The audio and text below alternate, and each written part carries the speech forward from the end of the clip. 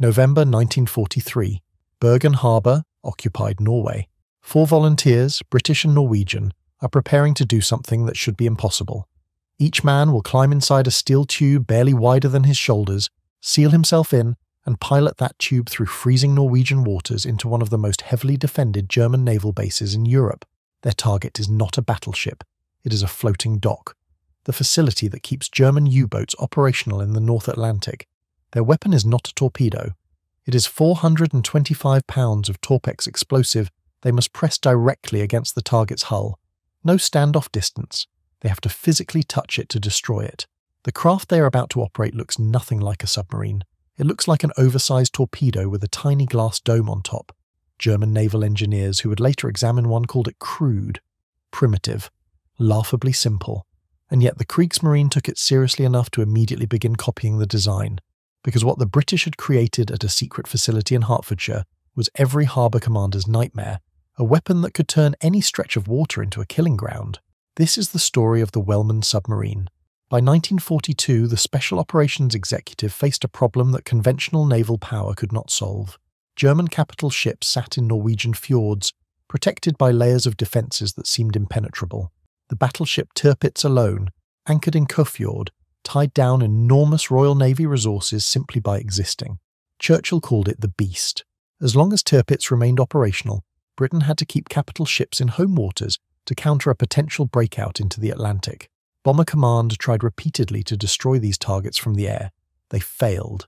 The fjords were too narrow for effective bombing runs, forcing aircraft to approach along predictable paths that German gunners could anticipate. Anti aircraft batteries lined the cliffs on both sides, creating killing zones that bombers had to fly through.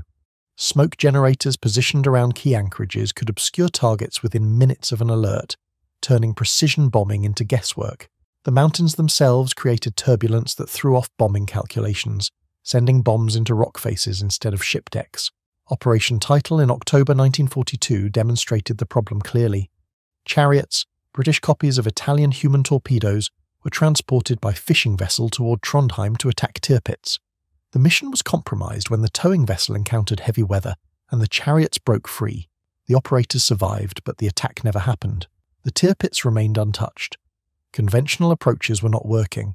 The Royal Navy considered surface attacks, but the approaches were mined, patrolled, and covered by coastal artillery.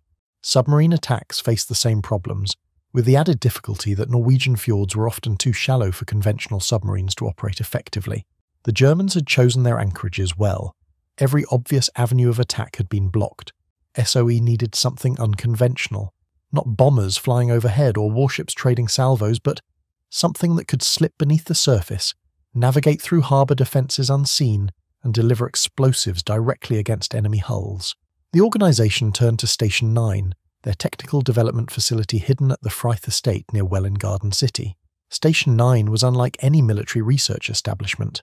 Behind walls patrolled by Alsatian guard dogs, civilian scientists held cover military ranks and developed weapons that existed nowhere in official procurement channels. Security was absolute. Workers were forbidden from discussing their projects even with family members. The facility operated under the cover of the Inter-Services Research Bureau, a name deliberately chosen to sound boring enough that no one would ask questions. Every clandestine device created at Station 9 carried the same prefix, well, derived from Welwyn. The Welbike was a folding motorcycle that could be dropped by parachute, the Welrod was a silenced pistol designed for assassination operations. The Welgun was a compact submachine gun, and in mid 1942, Lieutenant Colonel John Robert Vernon Dolphin received orders to create the Welman, a one man submarine capable of penetrating defended harbours. Dolphin was a Loughborough trained engineer, not a naval architect. This shaped his entire design philosophy. The official requirements stated that the craft should be operable by anyone with normal intelligence after the briefest possible period of training. No diving certification required, no submarine experience necessary. The operator would sit inside a dry compartment, breathing normal air, controlling the craft through simple mechanical systems. Courage and basic mechanical aptitude would be enough. The result was unlike anything in Royal Navy service. The Welman measured 20 feet and 6 inches from nose to tail, with its explosive warhead attached. The hull alone stretched 17 feet and 3 inches of welded steel, constructed in sections that could be transported by road and assembled at forward bases. Total weight came to approximately 2,000 pounds, light enough for launch from a motor torpedo boat using simple davits. Pressure testing pushed the hull to 300 feet, though operational depth was limited to 100 feet for safety margins. Inside, a single operator sat in what designers optimistically described as comparative comfort. Unlike the Chariot human torpedo, where crews rode exposed to freezing water in diving suits, the Welman pilot remained dry throughout the mission. Warm hands, warm feet, far less exposure than any other midget submarine crew, no decompression requirements. A single electric motor provided propulsion, powered by batteries that gave a maximum surface range of 36 nautical miles at 3 knots. That speed, barely faster than a man swimming, was both the Welman's limitation and its stealth advantage. Faster craft created more wake, more noise, more chance of detection. The Welman would creep toward its target like a shadow moving through dark water. The attack mechanism was elegantly brutal. The detachable nose section contained 425 pounds of Torpex explosive, a mixture of RDX, TNT, and aluminium powder that delivered roughly 50% more blast effect than pure TNT. Magnetic clamps built into the warhead housing would grip the steel hull plating of the target vessel. A clockwork time fuse, adjustable before the mission, would trigger detonation after the pilot had withdrawn to safety.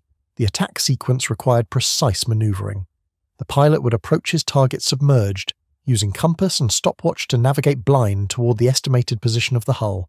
He would then surface briefly to confirm his position, submerge again, and creep beneath the target's keel where armor plating offered no protection. Warship designers assumed threats would come from the sides or above. They had not planned for explosives pressed directly against the thin bottom plating designed only to keep out water. Once in position, the pilot would release the warhead section. The nose detached while the magnets held it against the hull. The Welman, now lighter by 400 pounds, would rise slightly in the water. The pilot would compensate with ballast, withdraw to a safe distance, and the clockwork would count down. A well executed attack would leave no trace until the explosion. This was what made the concept terrifying to harbour defenders. A conventional submarine attack gave warning.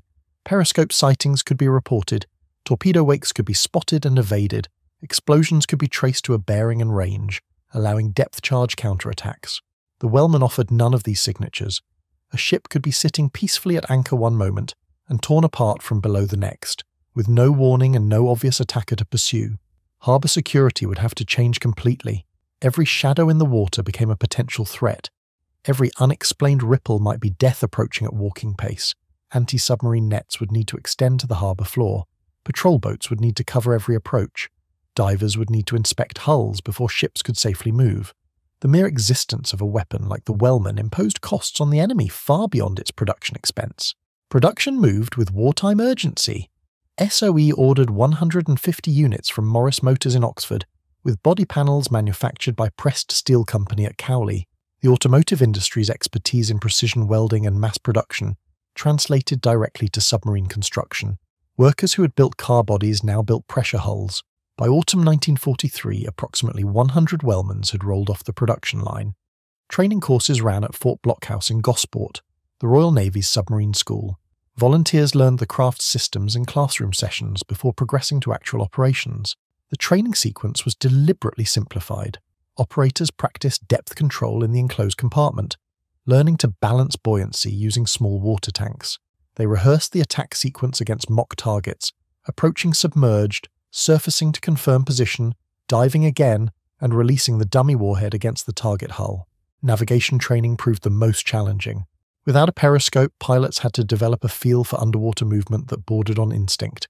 They would surface, take a compass bearing on the target, note the range, then submerge and count their progress by timing their speed. At three knots, a mile took 20 minutes, a half mile target approach meant 10 minutes of blind running, trusting the compass and hoping no current pushed them off course. Advanced sea trials moved to Loch Cairnbawn in the Scottish Highlands, where the deep, sheltered waters allowed realistic exercises against anchored vessels. Mock attacks against the depot ship HMS Titania proved the concept could work when conditions favoured the attacker. In calm water, good visibility, and familiar surroundings, Welman pilots could find their targets and deliver their charges. Now, before we see what happened when these craft met the enemy, if you are enjoying this deep dive into British engineering, hit subscribe. It takes a second, costs nothing, and helps the channel grow. All right, let us get into Operation Barbara. The target was the Laxevåg floating dock complex in Bergen Harbour. This facility provided maintenance and repair services for German U boats operating in the North Atlantic, the same submarines that were strangling Britain's supply lines. Destroying the floating dock would force U boats to return to German ports for servicing, reducing their time on patrol and easing pressure on Allied convoys. Four Welmans would launch from motor torpedo boats of the 30th Flotilla, departing Lunna Voe in Shetland. The journey to Bergen covered roughly 200 nautical miles across the North Sea. MTBs would carry the Welmans as deck cargo, launching them within range of the harbour approaches. Four volunteers would then navigate the final miles alone. The crews reflected the Allied nature of the war. W 45 carried Lieutenant C. Johnson of the Royal Norwegian Navy. W 46 held Lieutenant Björn Pedersen of the Norwegian Army. W 47 was piloted by Lieutenant B. Maris of the Royal Naval Volunteer Reserve W48 belonged to Lieutenant J. Holmes of the Royal Navy. Each man had volunteered knowing the odds, each went anyway. The operation launched on the night of November 20th, 1943. What happened next revealed the Welman's fatal flaw, one so fundamental that it seems incomprehensible in retrospect. The craft had no periscope. This was not an oversight or a component delayed by production difficulties. It was a deliberate design choice. Colonel Dolphin had prioritized simplicity throughout the program and periscopes added mechanical complexity, maintenance requirements, and potential failure points. The Welman would navigate using compass bearings taken while surfaced, then submerge and proceed blind toward the target. Visibility underwater came only from small armoured glass segments in the conning tower dome. Useless for navigation in the darkness of a Norwegian November night, to know where they were going, pilots had to surface, and surfacing meant being seen. On November 21st, the operation was compromised, the Welmans had been hiding near Yeltholmen Island, waiting for darkness to cover their final approach, but they had been spotted. Whether by local fishermen or harbour patrols, the element of surprise, the only real advantage these slow and lightly armed vessels possessed, was gone. German defences would now be alert. That night, Lieutenant Pedersen in W 46 attempted to press the attack anyway. His craft crept toward the harbour entrance, navigating by dead reckoning through waters he could not see. Then disaster struck. W 46 became entangled in an anti submarine net stretched across the approach channel. The Welman carried no net cutting equipment. This was another simplification, another capability sacrificed for ease of operation. Pedersen was trapped underwater in a steel tube, his batteries draining, his air supply finite with no tools to free himself. He had no choice but to blow his ballast tanks and surface. A German patrol vessel spotted the tiny conning tower almost immediately. Pedersen was captured along with his intact Welman. The remaining three operators, recognizing that their mission was now compromised beyond recovery, scuttled their craft in deep water and escaped to shore. With help from the Norwegian resistance, they evaded German search parties for months, hiding in safe houses and moving through occupied territory before finally being extracted by MTB 653 on February 5, 1944. The operational record could not have been worse zero enemy vessels damaged, zero explosives delivered to target, four Welmans lost, one operator captured with his craft intact. The floating dock at Bergen remained fully operational, continuing to service the U boats that threatened Allied shipping. Yet the story does not end with this failure. German naval engineers examined the captured W 46 with intense professional interest. Their official assessment was dismissive. They called the engineering unsophisticated the design approach crude by Kriegsmarine standards, but their actions contradicted their words. Within months, Korvettenkapitän Hans Bartels had completed a prototype of the Biber, a German one man submarine. The captured Welman helped validate the concept, and the Biber followed with what the British had fatally omitted a proper periscope for submerged navigation and a petrol engine for faster surface transit. The Biber program eventually produced over 300 craft and saw extensive combat deployment against Allied shipping after D Day. The Biber achieved minimal operational success, sinking only one Allied merchant vessel, while carbon monoxide poisoning from the petrol engine killed numerous German pilots. But the program's very existence proved something important. The Kriegsmarine, despite publicly mocking the Welman's construction quality, had recognized the threat the concept represented. A weapon that could infiltrate harbours and destroy ships at anchor was worth developing, even starting from a flawed original. Comparison with successful midget submarine programs shows what the Welman attempted and why it failed. The Royal Navy's X craft measured 51 feet with a four man crew. Commander, pilot, engine room artificer, and diver worked together, dividing tasks that overwhelmed a single Welman operator. Diesel electric propulsion gave 500 nautical mile range and faster sprint speeds. X craft carried periscopes for covert approach, wet and dry compartments for diver operations, and equipment for cutting through anti submarine nets. In September 1943, while Welman crews were still training for Bergen, X craft successfully attacked the battleship Tirpitz in Kofjord. The assault crippled the beast for months and earned two Victoria Crosses. In September 1944, X 24 returned to Bergen and successfully destroyed the floating dock that had defeated the Welmans. The Italian Maiale human torpedo demonstrated another successful approach. Two man crews rowed externally in diving suits, able to leave the craft and manually defeat obstacles. At Alexandria in December 1941, Maiale teams crippled the battleships HMS Queen Elizabeth and HMS Valiant, shifting Mediterranean naval power dramatically. The British copied this concept directly as the Chariot. These successes shared features the Welman lacked multiple crew members, proper navigation equipment, tools for defeating defences. The Welman sacrificed all of these for a simplicity that proved insufficient. General Sir Robert Laycock, commander of combined operations, had declared the Welman unsuitable for operational deployment before Barbara even launched. SOE pressed ahead anyway. Production halted in October 1943 after approximately 100 units. At least one operational Welman survives today.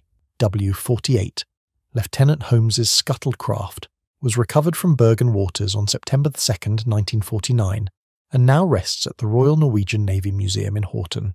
Visitors can see for themselves how cramped the compartment was, how limited the visibility through those armoured glass segments, how much courage it took to seal yourself inside and head toward enemy guns. The Imperial War Museum displays not a Welman, but a German Biber, the descendant of the captured W 46. British innovation, German imitation, neither nation made the concept truly work in combat. The men who volunteered for Operation Barbara showed extraordinary courage. They climbed into steel tubes knowing the odds, attempted to penetrate one of Europe's most defended harbours, and when the mission failed, evaded capture for months in occupied territory. Their bravery was not diminished by the inadequacy of the weapon they were given the Welman submarine stands as proof that innovation alone does not guarantee success. The concept was sound. A simple, mass producible harbour attack weapon capable of striking ships at anchor. The execution fell short because simplifications eliminated essential capabilities. German commanders feared what the Welman represented. They feared it enough to copy it, but fear alone could not make a flawed design succeed in combat. Sometimes the path forward runs through failure, the Royal Navy concentrated resources on the four man X craft, which achieved what the Welman could not. Sometimes courage deserves better tools, and sometimes a good idea needs more than bravery to become an effective weapon. The tiny submarine designed to be every German captain's nightmare became instead a lesson in steel.